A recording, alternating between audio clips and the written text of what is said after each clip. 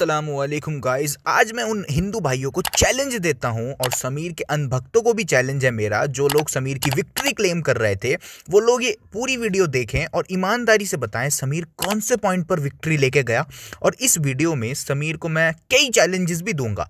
देखते हैं वो वीडियो का जवाब देता है या इसको इग्नोर ही करता है एज यूजल तो आज थोड़ी सीरियस बातें हो जाएँ। इस डिबेट में समीर बुरी तरह अपनी क्रेडिबिलिटी लूज कर देता है और बुरी तरह वो हार जाता है। समीर अपने उसूल कहाँ से ला रहा था। इसकी खबर तो उसके पीछे बैठे क्रिश्चियंस को भी नहीं थी। वो भी बेचारे कंफ्यूज हो रहे होंगे कि ये क्या बोल रहा है। और अगर किसी हिंदू भाई को लगता है कि समीर बिल्कुल करेक्ट था अपने उसूलों में तो मेरा ये चैलेंज है समीर को और उनके भक्तों को कि जिन उसूलों के साथ वो डिबेट कर रहा था, उनको साबित करे एकेडमिक ग्राउंड पर। अगर उसने उन उसूलों को साबित किया तो मैं वीडियो बना करके माफ़ी मांगूँगा। खैर तो सिद्धार्थ कितना कंफ्यूज था, इसको आप ऐसे देखें कि वो थोड़ी देर पहले कुछ कहता था, फिर उससे मुकर जाता था क्लिप हमने आपको रेफरेंस दिखा दिया हमने आपको चोरी साबित कर दी आपको चोरी साबित कर दी और हमने चोरी का माल बरामद भी दिखा दिया आपको। आपने अभी एक और जुमला कहा। क्या जुमला कहा मालूम है? आपने ये जुमला कहा कि चोरी साबित हो गई। नबी जो है ना वो ऐसा काम नहीं कर सकता चोरी नहीं कर सकता। इसको तो मैं भी मान रहा हूँ मैंने तो आपको ये नहीं कहा। आपने जो कहा ना चोरी साबित हो गई मैंने ये नहीं कहा चोरी साबित हो गई मैंने ये नहीं कहा चोरी साबित हो गई। आपको रेफरेंस दिखा दिया हमने आपको चोरी साबित कर दी। मैंने ये नहीं कहा चोरी साबित होगी। बात सिर्फ़ यही नहीं है समीर उसूलों से इतना कच्चा था कि स्टार्टिंग में उसने एक उसूल बनाया कि मैं कुरान को मानूँगा।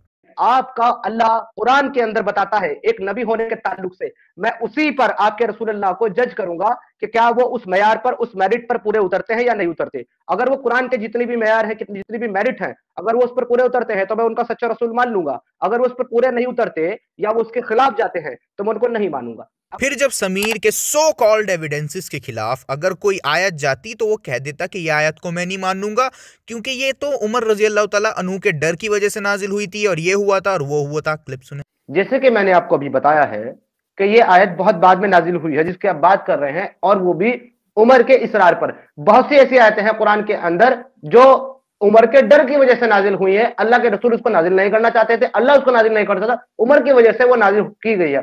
आई मीन सीरियसली फिर तुमने स्टार्टिंग में ही उसूल क्यों बनाया था कि मैं कुरान को मानूँगा और फिर कुरान ही की आयतों को रिजेक्ट कर रहे हो, जो आयतें तुम्हारे प्रोपागेंडा के खिलाफ हैं। और अभी हम ये भी साबित करेंगे कि क्या ये आयत उमर रज़ी अल्लाह अनु के डर की वजह से नाजिल हुई थी या नहीं? बट ये कैसी हिपोक्रेसी है समीर की? अपने ही उसूल को तोड़ दिया। और बात सिर्फ़ यही नहीं है, समीर इतना इग्नोरेंट है कि वो जैद पटेल साहब की दिखाई हुई एक हदीस को सिर्फ़ इस बेस पे रिजेक्ट कर रहा था, क्योंकि वो खबरें वाहिद थी। इस हदीस के ताल्लुक से मैं आपको बता दूँ। ये हदीस जनाब सही नहीं है क्योंकि ये अखबार अहद है और इसका एक ही नरेटर है। और वो ये खुद नहीं जानता था कि वो जिस हदीस को दिखा रहा था वो हदीस खुद खबरें वाहिद थी। नया टॉपिक अभी खबरें वाहिद वाला ला रहे हैं खबरें अहद वाला। तो आपने जो हदीस बताया वो भी खबरें वाहिद है बाय द वे खबरें वाहिद एक्सेप्टेड है हमारे नज़दीक सही सनत से हो तो। और फिर जैद साहब ने इसके ब्लेंडर्स दिखाए और फिर खुद ही कह रहा था डिबेट में हाँ मैं गलत हूँ। क्लिप जो यहूदियों में से था तो इसी वजह से मोहम्मद यहूद में से है। मोहम्मद यहूद में से है समीर का दावा है। तो मेरा उससे कहना है कि जो उसने ये वीडियो में कहा है वो या तो साबित करे प्रूफ दे या तो अपनी गलती एक्सेप्ट करे। अगर उसमें मैंने ऐसा क्लेम किया है ना जैसा कि सुनाई भी दे रहा है कि वो यहूद में से है हाँ सो आई वॉज़ रोंग हाँ सो आई वॉज़ रोंग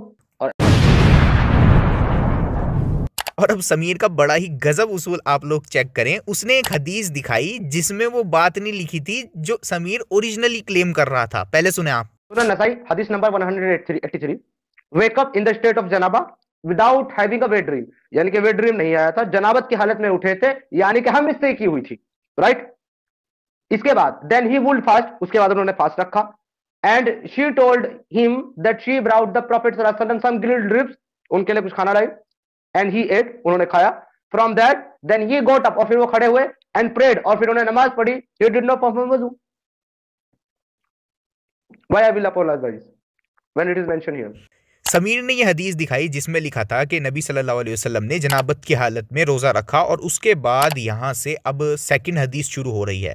ये पहली हदीस है और ये दूसरी हदीस है। जैसा होता है ना, एक साथ दो वाक्य ज़िक्र कर दिए जाएँ तो वैसे ही नैरेटर ने एक साथ दो वाक्य ज़िक्र कर रखे हैं इस हदीस में, जिसका सबूत जैद पटेल साहब ने बताया कि भाई हदीस में दो अलग अलग वाक्य हैं जिनका सबूत है इस हदीस के अरबिक टेक्स्ट जिसमें लिखा है, विद दिस हदीत यानी इस हदीस के साथ तो क्लियरली यहाँ दो हदीसों का ज़िक्र है तो जैद पटेल साहब ने साबित कर दिया कि भाई यहाँ लिखा है कि रसूल अल्लाह ने जनाबत की हालत में रोज़ा रखा तो इससे ये बात साबित हुई कि जनाबा की हालत में रोज़ा रखा जा सकता है। बस ये वाक्य एंड हो गया यहाँ पर। और उसके बाद लिखा है, विद दिस हदीत, यानी एक और हदीस इसके साथ आई है, जहाँ लिखा है, ग्रिल्ड रिब्स खाने से वज़ू नहीं टूटता। तो दो इंफॉर्मेशन दी गई हैं इस हदीस में। अब समीर ने इन दोनों वाक्यों को एक मान लिया। वहदसना मा हादल हदीस। इस हदीस के साथ उन्होंने एक और हदीस बयान की। अब ट्रांसलेशन में क्या हुआ कि इस हदीस के साथ एक और हदीस बयान की तो वो डिटेल बीच की वहाँ पे ट्रांसलेटेड नहीं है तो आप जैसे आ, लोगों को अपने थॉट्स कंजेक्चर करने का कोई एक चीज़ मिल रही है लेकिन अरबिक टेक्स्ट में अगर जाते हैं तो इस हदीस के साथ ये सेकंड हदीस उन्होंने बयान की कि उम्मे सलमा रदिल्ला बता रही हैं कि नबी सलासम उठते थे हालत जनाबत में without having a wet dream और फिर रोजा रखते, यहाँ पे एक बात हो गई खत्म। बात खत्म हो गई एक। सेकेंड बात, और उन्होंने उन्हें बताया कि वो, उन्होंने लाया नबी वसल्लम के लिए कुछ ग्रिल्ड रिब्स उन्होंने खाया उसमें से, फिर वो उठे और नमाज़ पढ़े और वज़ू नहीं किए। यानी कि वो खाने के बाद वज़ू नहीं किए। यहाँ ये बात की दलील है कि खाने के बाद वज़ू नहीं किए। तो यहाँ पे ये समझना है कि किसी का वज़ू है। तो क्या खाने से गोश्त खाने से क्या वज़ू टूट जाएगा? तो नहीं टूटता है उसकी दलील है ये। उसकी दलील है क्योंकि यहाँ दो अलग अलग बातें हैं। अब दावा क्या था? मोहम्मद ने बगैर गुसल के नमाज़ पढ़ाई वो दावा साबित नहीं हो रहा है। नहीं हो रहा है खत्म। अब और जब जैद पटेल साहब ने इसको गलत प्रूव किया तो अब तो अब इसकी जिद चेक करें आप लोग। आपको इस हदीस से साबित करना होगा कि उन्होंने गुसल किया था। मेरा मुतालबा आपसे सीधा सा है अब क्यों नहीं साबित कर रहे हैं मुझे? मतलब इसका उसूल चेक करें आप लोग। इसने कहा कि आप इसी हदीस से साबित करो कि उन्होंने गुसल लिया था। अरे, ये क्या बात हुई? भाई, तेरा क्लेम तो इस हदीस के अरेबिक टेक्स्ट से डिस्ट्रॉय हो गया। अब तू कह रहा है कि इसी हदीस से साबित कर दो, उन्होंने गुसल किया था। आर यू क्रेजी भाई, जिसका दावा होता है, साबित उसको करना होता है। इस हदीस में तो सत्तर चीज़ें नहीं लिखी। कल को कोई कह सकता है कि रसुल्ला ने जो ग्रिल्ड रिप्स खाई, वो हराम थी, उस जानवर पे कलमा नहीं पढ़ा गया था। तो कल को कोई ये भी कह सकता है, कल को कोई एतराज़ करने वाला तो ये भी कह सकता है ना कि भाई, जो ग्रिल्ड रिप्स आप सल्लल्लाहु वसलम ने खाई, वो हराम थी। और फिर वो दावा करने वाला शख्स अगर सामने से ये कहे कि मैं साबित नहीं कर सकता कि ग्रिल्ड रिब्स हराम थी, तुम साबित करो कि वो हलाल थी। तो ऐसे शख्स को पागल कहकर आगे ही बढ़ा जा सकता है। जिसका दावा होता है एविडेंस भी उसके जिम्मे होता है। इस हदीस के अंदर तो सत्तर चीज़ें नहीं लिखी। ये बड़ी कॉमन सी बात है, एक हदीस में पूरे वाक्य का शॉर्ट हिस्सा करके बताया गया है। इसका मतलब ये नहीं होता कि बाकी की चीज़ें हुई ही नहीं थी। तो भी साबित नहीं होता। क्यों?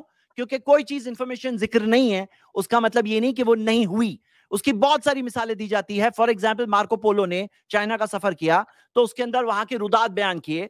उसके अंदर कहीं ज़िक्र नहीं किया कि ग्रेट वॉल ऑफ़ चाइना है। हालाँकि बहुत चीज़ें बयान की तो क्या उसका यह मतलब है ग्रेट वॉल ऑफ़ चाइना नहीं था? तो इसके अंदर कहा जाता है the absence of evidence is not the evidence of absence कोई चीज़ का ज़िक्र ना हो उसका मतलब ये नहीं कि वो नहीं हुआ। ये एक नॉन कायदा है दुनिया के लोग लॉजिकल लोग हैं ना इस बात को समझते हैं। समीर मेरा तुझको चैलेंज है इस हदीस से साबित करके रसूलुल्लाह ने गुसल नहीं किया था। मैं अपने चैनल पर वीडियो बना के माफ़ी मांगूँगा अगर तूने साबित कर दिया तो। और हमसे सवाल मत करना कि तुम लोग साबित करो क्योंकि दावा तेरा था ओरिजिनली और जैद पटेल साहब ने उसको कंप्लीटली डिस्ट्रॉय कर दिया था वहीं। क्या लिखा हुआ है तफसीर बगवी के अंदर? ये आयत, वमा फरमाते हैं कि हज़रत सैदना अब्दुल्ला बिन अब्बास रजील्ला से रिवायत है कि इस आयत का शान नजूल ये है कि सुर्ख धारीदार एक चादर के मुतालिक हुआ, जो कि बदर के दिन गुम हो गई थी। इस पर बाज लोगों ने कहा कि नाउज बिल्ला ये नाउज बिल्ला ब्रैकेट में डाला, उसमें नहीं है। कहा कि आप सल्लल्लाहु अलैहि वसल्लम ने ले ली है, यानी कि एक चादर बदर के दिन जो है वो गुम हो गई थी, और जो वहाँ के जो जो सहाबा थे, उन्होंने ये कहा कि वो चादर जो है वो जनाब रसूल ने ली है। तो यहाँ पर कुल मिलाकर के बात ये हो रही है कि एक चादर जो गुम हो गई है, सुर्ख धारीदार चादर, उसके लिए आपके साहबा, जो कि बदरी साहबा है, वो इल्ज़ाम लगा रहे हैं जनाब रसूल पर कि वो चादर इन्होंने चुरा ली है। दाऊद की हदीस है जो आपकी स्क्रीन के ऊपर मौजूद है, जिसका ग्रेड भी सही है, अल अलबानी ने इसको सही करार दिया है। ये हदीस के अंदर साफ़ साफ़ लिखा हुआ है, the verse and no prophet could ever be false to his trust was revealed about a red velvet when it was found missing on the day of Badr. On the day of Badr. तो ये बदरी है। आप मुझे साबित करें कि बदरी नहीं है। अब इसने कहा, बदरी साहबा ने रसूलुल्लाह सल्लल्लाहु अलैहि वसल्लम पर चोरी का इल्ज़ाम लगाया। हालाँकि बदरी साहबा जन्नती हैं और वो ऐसी बात कह ही नहीं सकते, ये बात हम सब जानते हैं। लेकिन मज़े की बात ये है कि इस हदीस में जो इसने दिखाई है, वो अल्फाज ही नहीं है। कहीं लिखा ही नहीं हुआ कि बदरी साहबा ने कहा। यहाँ लिखा है सम पीपल सेड नॉट बदरी साहबा सेड बल्कि सम अब इसके रिस्पॉन्स पर समीर बोला missing on the day of Badr Badr ही के दिन मिसिंग हुई है वो। बदर ही के दिन ये बात हो रही है। तब कुछ लोगों ने कहा some people said perhaps the messenger of Allah has taken it तो ये जो इल्ज़ाम लगाने वाले लोग हैं, ये बदर में पहुँच गए थे क्या मुनाफिक? घर से अपने। लड़ाई खत्म होने के बाद सेम डे या फिर रसूल अल्लाह अपना पूरा काफिला लेकर के सेम डे बदर के मैदान से अपने घर पहुँच गए थे जहाँ बंटवारा हो रहा था। अब इसने बोला बदर बदर के दिन का वाक्य है। उस पे भी जैद पटेल साहब ने इसको डिबंग कर दिया। पहली चीज़ यहाँ पे ये देखिए कि यहाँ पर जो आपने कहा ना बद्र के दिन दिन की बात है बद्र के दिन ये सवाल जरा गौर से देखिए। फुकीदत यौमा बदरिन। वो मिसिंग थी बद्र के दिन। अब यहाँ पे ये बात नहीं कही गई है फकाला बाद नास के वो उसी दिन सवाल हुआ। ज़रूरी नहीं है, उसी दिन हुआ। बदर के दिन सिर्फ़ चादर खोई थी। इसका मतलब ये नहीं है कि उसी दिन लोगों ने इल्ज़ाम लगाया था। और ऐसा उस हदीस में कुछ नहीं है कि सारा काम सेम डे हुआ। और समीर ना तो उसके बाद उनको बदरी साहबा साबित कर पाया और ना ही ना ही ये साबित कर पाया कि उसी सेम डे उन लोगों ने इल्ज़ाम लगाया था। कुछ नहीं साबित कर पाया। और मेरा चैलेंज है, अगर उसने साबित किया है तो दिखाए कहाँ साबित किया है। इस सब के बावजूद अभी घबराए मत। अभी तो और जलील हुए हैं ये। ये वो प्लेयर था जो अपने ही गोल में गोल करके उछल रहा था। इसके ही एविडेंसेस इसको रिफ्यूट कर रहे थे, इसी को गलत साबित कर रहे थे इसके एविडेंसेस तो समीर का ये दावा था कि रसूल अल्लाह सल्लल्लाहु अलैहि वसल्लम को उनके अपने सहाबा, बदरी सहाबा सच्चा नहीं मानते थे, बल्कि उनको चोर मानते थे नाउजुबिल्ला जिसके जवाब में जैद पटेल साहब ने एक हदीस दिखाई, जिसमें लिखा था कि जिन लोगों ने रसूल अल्लाह सल्लल्लाहु अलैहि वसल्लम पर इल्ज़ाम लगाया था, वो बदरी साहबा नहीं थे, बल्कि हिपोक्रिट्स थे।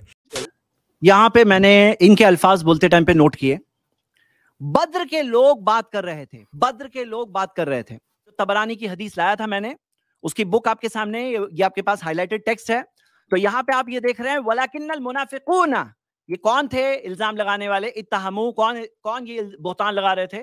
ये झूठा इल्ज़ाम कौन लगा रहे थे? मुनाफिकीन, कौन बयान कर रहे हैं? रावी हदीस। अब ये देखो, ये कह रहे हैं कि ये इल्ज़ाम बद्र के सहाबा ने लगाया और बद्र के सहाबा की फजीलत कुरान और हदीस से साबित है और जैद पटेल कुरान और हदीस के खिलाफ जा रहे हैं क्योंकि कुरान और हदीस में बद्र के सहाबा की फजीलत है और समीर आकर के साबित कर रहे हैं कि जैद पटेल बद्र के साहबा के खिलाफ जा रहे हैं। लेकिन यहाँ पे क्लियर कट सामने लिखा हुआ है मुनाफिकुन इतना तो आपको भी पढ़ने आता है कि वला किन्नल मुनाफिकुन मुनाफिकुन ने इल्ज़ाम लगाया था।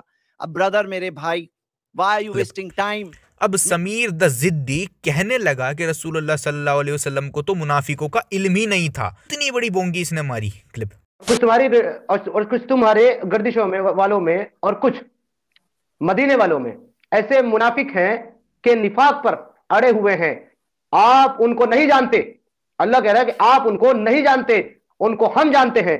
हम उनको दोहरी सजा देंगे। फिर वो बड़े भारी अजाब की तरफ़ भागे जाएँगे। अल्लाह कह रहा है कि आप तो जानते ही नहीं है। आप कैसे साबित करेंगे कि मोहम्मद रसूलुल्लाह जानते थे कि मुनाफिकीन कौन है? अल्लाह तो मना कर रहा है।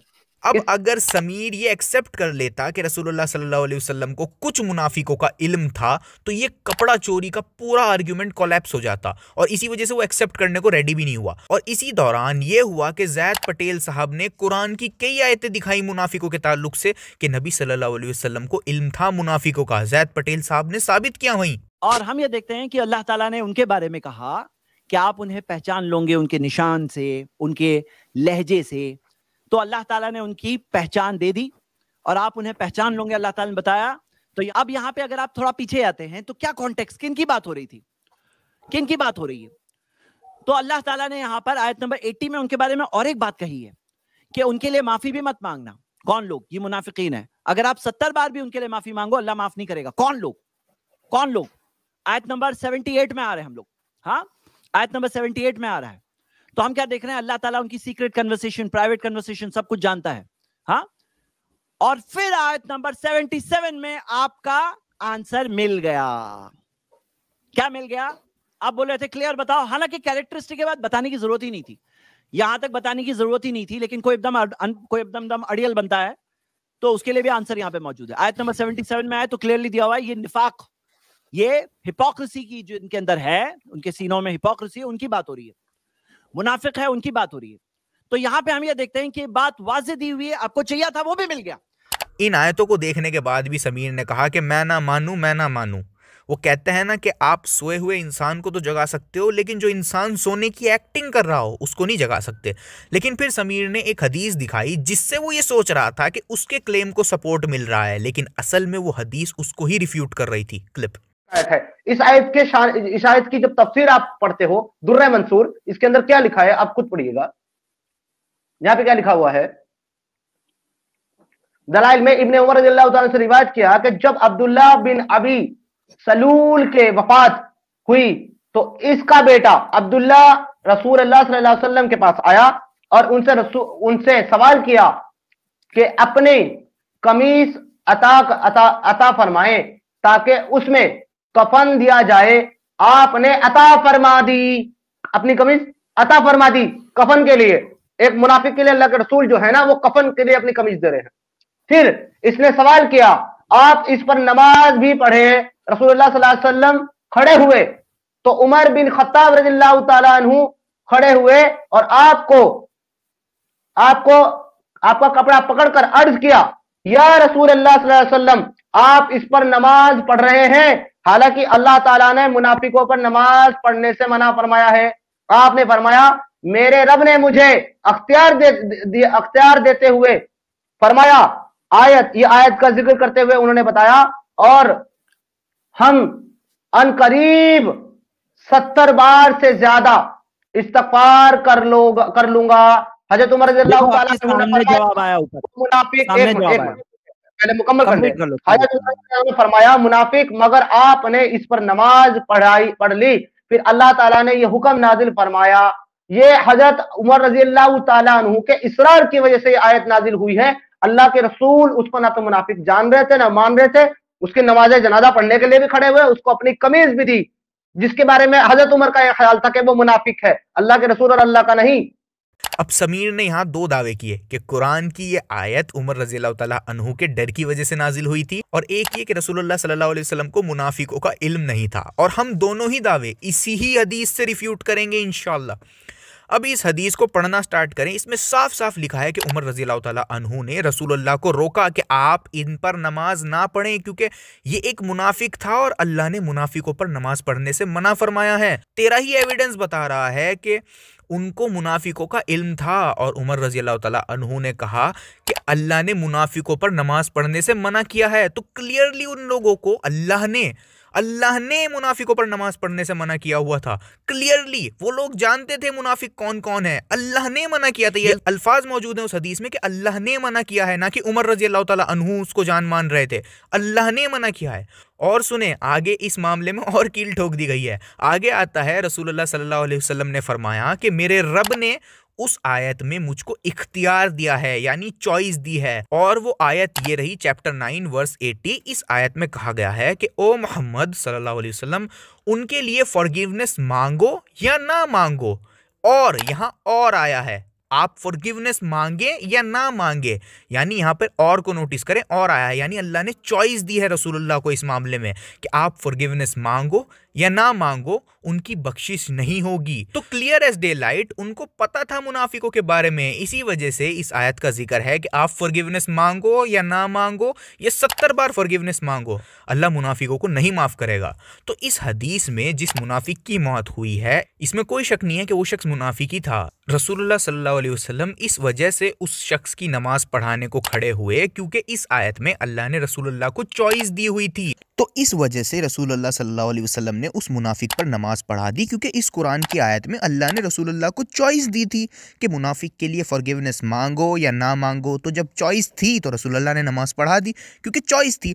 और सुने, फिर उसके बाद मना कर दिया गया। न्यू आयत उतार कर सूरा नौ, आयत 84 में साफ़ साफ़ लिखा है कि मुनाफिकों के लिए नमाज़ मत पढ़ो। ये न्यू आयत नाजिल हुई थी।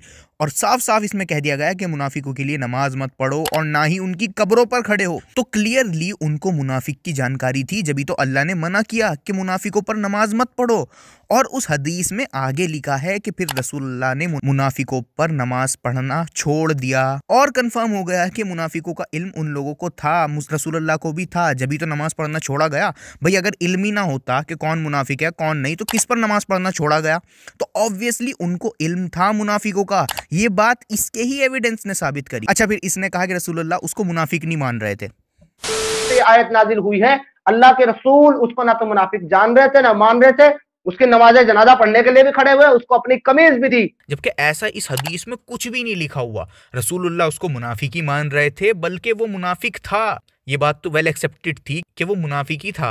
रसूल अल्लाह ये कह रहे थे कि मैं इस पर नमाज़ पढ़ाऊं या ना पढ़ाऊं, इसकी माफ़ी नहीं होगी। कुरान की आयत में है कि सत्तर बार भी मुनाफिकों के लिए माफ़ी मांगोगे, माफ़ी नहीं मिलेगी। तो रसूल अल्लाह ने कहा, मैं सत्तर बार से ज़्यादा कर लूँगा। तो यानी इस बात में कोई शक नहीं था कि वो शख्स जो मरा था, वो मुनाफिक ही था। जब तो रसूल अल्लाह सत्तर बार से ज़्यादा बार उसके लिए माफ़ी मांगने को कह रहे थे, भाई, अगर इसमें शक होता कि वो मुनाफिक है या नहीं तो वो सत्तर बार से कम ही कहते। लेकिन उन्होंने कहा कि मैं सत्तर बार से ज़्यादा ज़्यादा मांग लूँगा। तो यानी उन्होंने कुरान की आयत को ध्यान में रखते हुए ये सोचा कि अल्लाह ताला ने मुझे चॉइस दी है कि चाहे तो माफ़ी मांगो या ना मांगो, या सत्तर बार भी मांगो। तो रसूल ने कहा कि मैं सत्तर बार से ज़्यादा मांग लूँगा। तो इसमें क्लियरली कोई शक नहीं है कि वो मुनाफिक ही था। जब तो सत्तर बार से ज़्यादा बार मांगने को कह रहे थे, उसके लिए माफ़ी।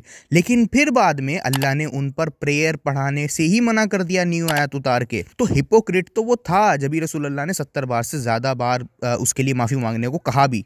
तो क्लियरली समीर तो ये साबित नहीं कर सकता कि रसूलुल्लाह सल्लल्लाहु अलैहि वसल्लम को मुनाफिकों का इल्म नहीं था। और तेरे ही एविडेंस ने तुझको रिफ्यूट किया। और ये जो तेरा पूरा आर्ग्यूमेंट था ना, बदरी साहबा वाला, ये पूरा आर्ग्यूमेंट कोलैप्स कर गया।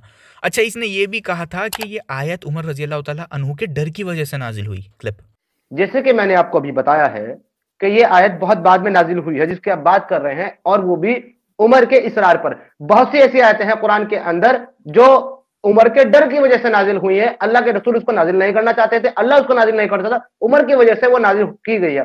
भाई, अगर उमर रज़ी अल्लाह का डर होता तो रसूल अल्लाह नमाज़ पढ़ना शुरू ही क्यों करते? भाई, अगर डर होता तो नमाज़ पढ़ने से पहले ही आयत नाजिल हो जाती। लेकिन हदीस में लिखा है कि रसूल अल्लाह ने तो नमाज़ पढ़ ली थी, तब आयत नाजिल हुई। तो अगर डर होता तो शुरू ही क्यों करी? तो अगर डर था तो कैसे पढ़ाई? तो ये बात भी तेरी इसी आयत से रिफ्यूट हो जाती है कि अगर उनको डर होता तो स्टार्ट भी ना कर पाते नमाज़ पढ़ना। हम क्या देख रहे हैं? नमाज़ पढ़ने के बाद आयत नाजिल हुई। तो अगर डर था तो उन्होंने नमाज़ कैसे पढ़ाई? और ये भी मैं आपको बता दूँ, ये हदीस सही हदीस है। ये हदीस सही मुस्लिम के अंदर भी आई है, सही Muslim two four zero zero A and B. तो इस हदीस को वीक साबित नहीं कर सकता तू? तो मैंने तुझे सही रेफरेंस भी दे दिया, अब तू इस हदीस को जयीफ भी नहीं कह सकता। तो क्लियरली उनको पता था हिपोक्रेट्स के बारे में। और समीर मेरा तुझको चैलेंज है, इस बात को साबित करके दिखा कि रसूल को एक भी हिपोक्रेट के बारे में नहीं पता था। तो मैं वीडियो बनाकर तेरे से माफ़ी मांगूँगा, जबकि मैंने तेरे ही एविडेंस से साबित किया कि उनको हिपोक्रेट्स के बारे में इल्म था। और जैद पटेल साहब ने भी वहीं पर ही साबित किया था, लेकिन मैं ना मानू मैं ना मानू का कोई इलाज नहीं है। भाई, मुझे इतने सवाल का जवाब बताओ कि कब्र पे मत खड़े होना उनकी उनकी जनाजे की नमाज़ नहीं पढ़ना। लेकिन आप वो कौन है, वो जानते ही नहीं हो। वो कौन है मुनाफिक? वो आप नहीं जानते हो, लेकिन उनके कब्र पे मत खड़े रहना। कौन है मुनाफिक? आप नहीं जानते हो, लेकिन उनके लिए सत्तर बार भी आप माफ़ी मांगोगे तो भी माफ़ नहीं होंगे, लेकिन कौन है आपको नहीं मालूम है? और यहाँ उमर अदलाओ और नबी हम बात कर रहे हैं क्लियरली बात कर रहे हैं, किसी अंधे को भी दिख जाएगा कि यहाँ पे तो दोनों को पता है, मुनाफिकीन की आइडेंटिटी नोन है, सामने है, और फिर भी आप ये चीज़ को नहीं देख पा रहे तो आप हाँ सो आई वॉज़ रोंग हाँ सो आई वॉज़ रोंग